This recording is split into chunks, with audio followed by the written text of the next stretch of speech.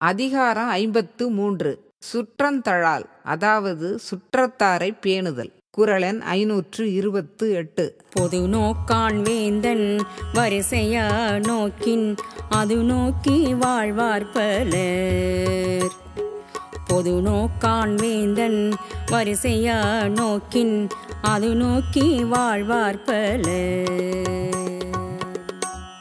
எல்லோரையும் சமமாய் எண்ணாது ஏற்ற தகுதியும் திறனும் தள்ளாது சிறப்பு செய்யும் வேந்தனை சுற்றி சேர்ந்து வாழ்வார் மக்களே பற்றி.